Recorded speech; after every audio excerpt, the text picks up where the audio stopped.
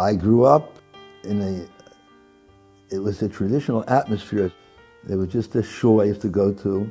I wasn't, my mother wasn't religious. My father passed away when I was five years old. And when I finished high school, not knowing anything else, I automatically, I mean, my mother expected that I was going to go to university.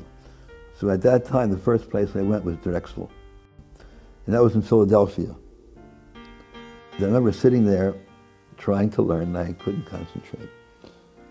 High school wasn't that big of a problem, but going through here was getting very serious and it just didn't interest me at all. So after two months, I decided that's it. I, I'm not going to, this is, no, this is not for me. So I left. I kept trying to find a place for myself. So I got a job at University of Maryland in a solid mechanics lab. And I remember trying different things. I was, I was in the Jewish organization, then B'nai B'rith, and I, I went to, I, this is all going on. I tried to uh, get involved with um, music a little bit, to play piano. But that all came to nothing. Then the next year, I decided, you know what, that's it. Let me go back to university, University of Maryland, as we mentioned before. And I said, I'm going to make it. This time I'm going to do it. I had nothing else then, what am I going to do? So the first semester was, I did very well actually. But then after that, again, my interest went down. I just didn't feel like, and I was, I remember sitting there looking at the book, know, whatever the book was. I was, it was engineering, I was taking engineering. And it just didn't seem, again, it didn't seem for me. So I used to sit there and wondering what's going to be. So one Friday night, I decided to uh, walk over to the Hillel house.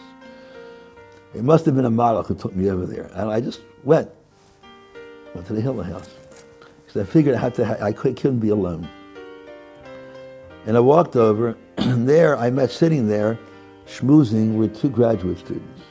One was Joel and one was a student, Larry Levin.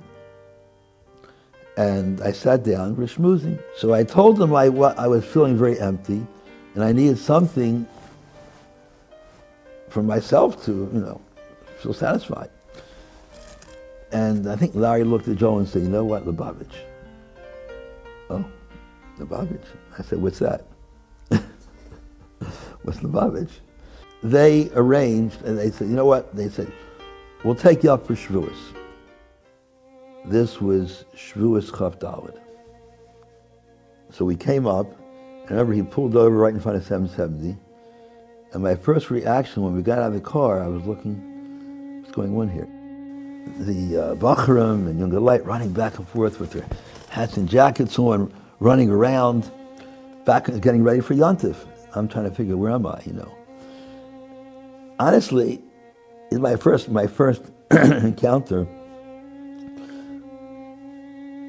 I I mean at first I wasn't religious yet. I felt like we just got to Torah. I felt like this was like Matan Torah.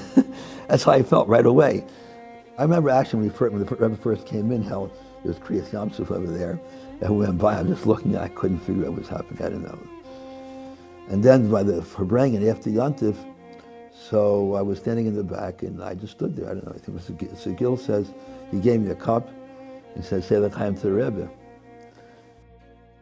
Like something, I remember being very attached to that. Some, something was there which, which hit me very strong. But I didn't know how to relate to it. You know, I mean, what's this got to do with me? I don't know if I should you this, but I, I, sitting when I remember during the, those couple of days I was here, going sitting when the when the walk, you know, the parkway there, so the benches in the parkway, and uh, started to cry I couldn't relate to it, but it, somehow this it was an emotional experience. In the summer, I learned in by Avram, by Rabbi Lipsker, before they had Hadar Torah. This is before Hadar Torah. They had for the newcomers Shiurim, and that was it. That was it. Once I was there for the summer, it was. It was that was the that was the that was the uh, that I was already in, I decided, but meanwhile, I had to go back to school. I didn't quit school. So I figured, oh, so I, I went back to school already as Shomer Shabbos. And finally, the same thing happened another time. Then I just couldn't stay. I, I saw, I'd open the books, try to study. I couldn't do it. I had to go back. So there, there was no question anymore. But I wrote to the Rebbe. I wrote to the Rebbe then that I wanted to go and just leave university, college once and for all. It wasn't for me, and I wasn't interested. and what I should do, and I didn't get an answer right away, obviously, but there was an answer waiting for me in, in 770, because I decided on my own I have to go. When I came in 770, and I was there to stay, I went to the office to see what, what you know if there's anything from the Rebbe that I wrote in and I, and I got the answer. I received a letter postdated October 12th. As requested, I will remember you in prayer for the fulfillment of your heart's desires for good. The attainment of good is unfortunately not always very easy. And usually, the more the thing is desirable, the more difficult it is to obtain. Therefore, when one finds extraordinary difficulties or obstacles, this in itself is often a sign that the thing desired is very worthwhile. And of course, I was the Farbrengens and everything, and, and I just I became very attached. Obviously, I was already felt very much part of 770, and I was like 770 was my home now. That was my home.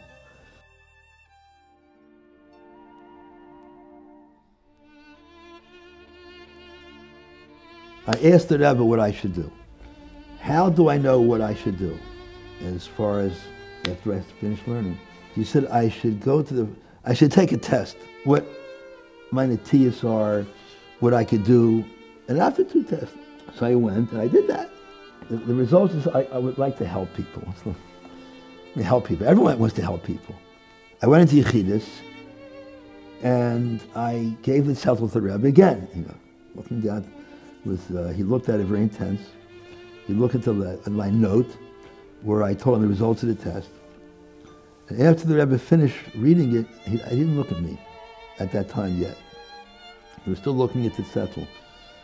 He says, if you, if you want, if you like to help others, you could consider, you should think about teaching, teaching, becoming a teacher.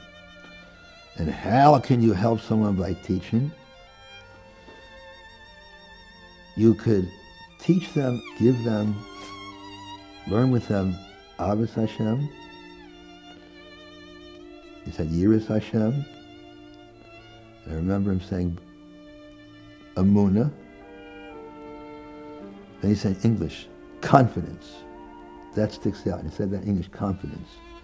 He said confidence. And he may have said another couple in Yanam of uh, Yerushalayim, I don't remember, but he said those for sure.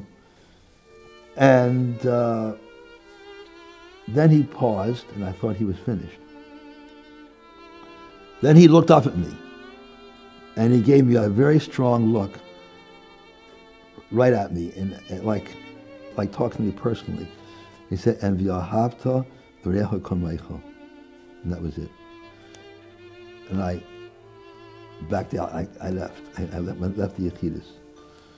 So that was Yechidus. So as I felt the Yechidus was that in teaching, it's not the material so much, or even the skills, which are important, obviously. I remember even at a Farbrengen once him saying that the Kinderlich learn, you know, in Shiva, the Iker wasn't how many pages of Gemara they learned, it was the, the Pintel Yid inside was the Pintel Yid that they, to reach that Pintel Yid, that was the Iker. Da minig was be bin amol das gewen a minig a posh. Bis wann et am wegen me fleg der mit far wegen a kind. Schas er noch gewen teren jede likre. Reknen far wegen mit a lidele, as e do a lichtele was brennt. Und der Rebbe lernt mit dem Kind, komm es aber vor. Und in der Ruf Masbe gewinnt hat, dass er nicht. A jene, was er glad bei Kroi Baume, das ist nicht Kabel geworden und nicht Paschut geworden, war eine Schei und ist so, bei der Wessenische Liefnisse, in der alle, in der, in der, in der Kosin von Tera, wie ja, das ist jeder schon mal, im Ewerle Jahr. Am Fleck, dass er für Kind, für Wiegen, a jüdisch Kind, mit Kommissare vor, oder noch nicht jeder einer mit Weil gewesen, a Kommissare vor, Ich ziehe dem Lamed Wesel funktioniert, aber nehmen Menschen, und das wird eingepflanzt in dem Kind, beterem jeder Kreuch sehen, a alle vor, das ist der alle von der Neche. Was er ist Kehle dem ganzen Diburische,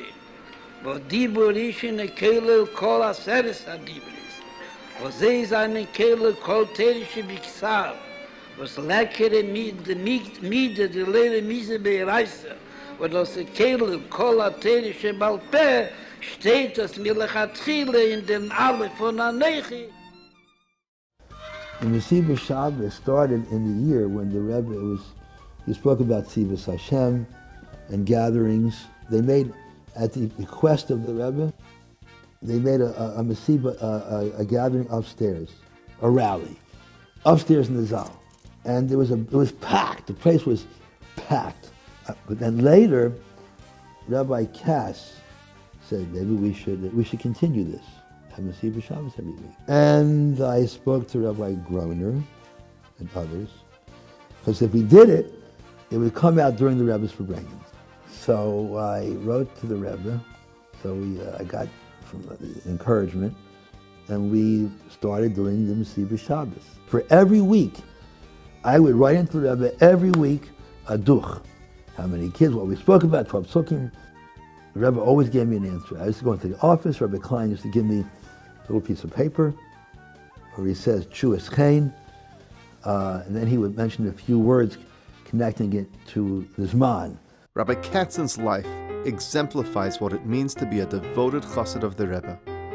Our Rebbeim have explained that a chassid is a lamplighter. Once the spark of his neshama has been kindled, he goes out and kindles that spark in others, bringing out their fullest potential.